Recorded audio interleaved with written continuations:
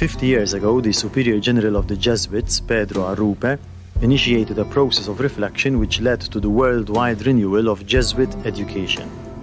In a groundbreaking speech to Jesuit past students back in Valencia in 1973, he outlined the prime educational objective.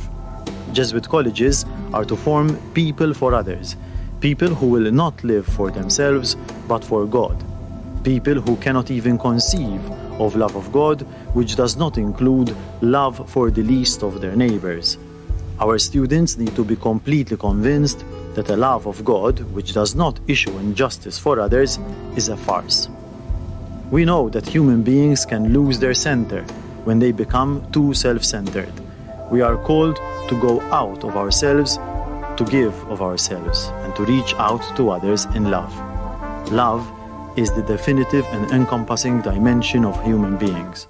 It is the dimension that gives all the other dimensions their meaning, their value, or their lack of value. Only the person who loves becomes fully realized as a human being. Education for justice is educating for change. It means forming people who will be effective agents for change and transformation. On the 116th year since the foundation of our school, we renew our calling to be men and women for others and with others.